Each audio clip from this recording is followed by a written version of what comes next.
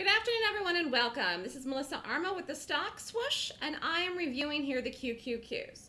So the market actually gapped down on Friday morning, and just to review here where what it did and what exactly it did. The market gapped under the previous day's bar, so this was Thursday, and it also gapped under the close. So the close on Thursday was 130.01. Then we gapped down here to what? 129.47. Not a huge gap down, but considering the fact that we've rallied literally, my goodness, look at that. We've we rallied every day in the month of February. Every day we rallied in the month of February. That's crazy. We, we only got two more days left. So uh, the funny thing is, when I first glanced at the market in the morning on Friday morning, just before I even started scanning for gaps, I just um, I just thought just a quick glance at the market was lower, because I mean we've been up for a month, fell in Thursday, gap down Friday, but no. And then after I, right before the open, it might have been five minutes for the open, two minutes for the open on Friday, after I decided what gap to do and watch. Uh, I said to the room that the market was going to hold in the gap down. And I said, this is crazy. And I said that to the room, but no one's probably going to believe me. But I think the market actually holds today and rallies. And if it doesn't get over the high from Thursday's bar, it will by Monday. So it looks like we're going to carry through tomorrow, next week. I mean, I think even if we gap down tomorrow, we carry through. Gap down, gap neutral, gap up. We're going to follow through and get over the high from Thursday, make another brand new all time high in the market. So what are the next numbers 131 131.50 132 132.25 i mean there's just you know the qqqs are probably going to hit 150 before the end of the year. That's only 20 points away. I'm not saying we go straight there but who knows? I mean a deep pullback like people are wanting and dreaming and wishing they could have to go long into here into 120 i don't see happening anytime soon. I'm not saying that it couldn't happen but i don't see it happening anytime soon.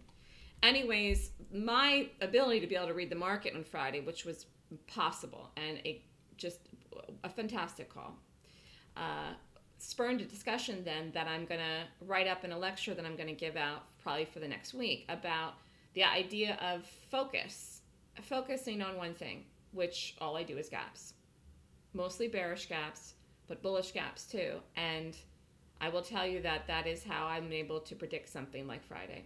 So when I seriously looked at it then before the open and to read the gap in the market, the directional bias of it, I saw then that we would hold.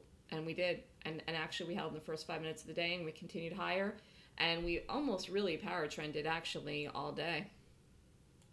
Let me just look here in the 15 minute where we started.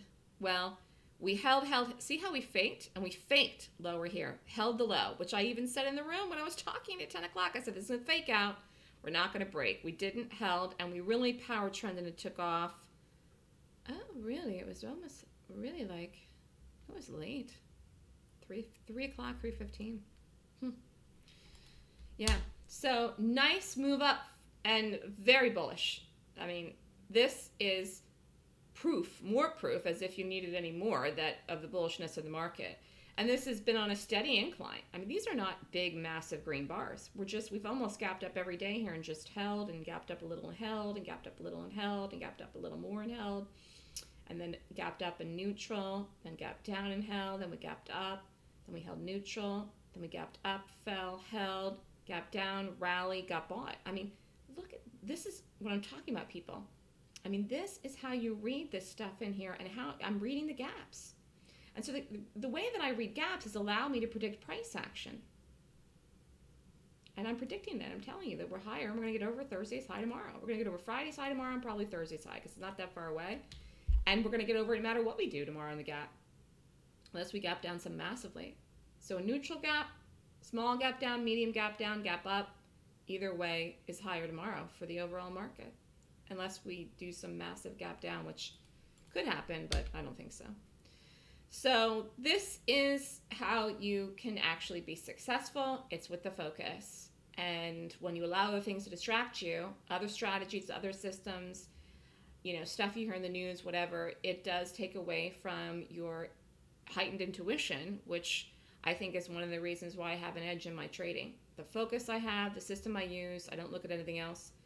Um, I don't need anything else, and it has allowed me to have a sixth sense and an intuition about things like Friday It was an amazing call, and I highly doubt anyone in any trading room called the market higher uh, pre-market yesterday on Friday it, before the market opened. So learn how to trade gaps with me if you want to next weekend, March 4th and 5th. Email me at melissa at thestockswoosh.com for more information.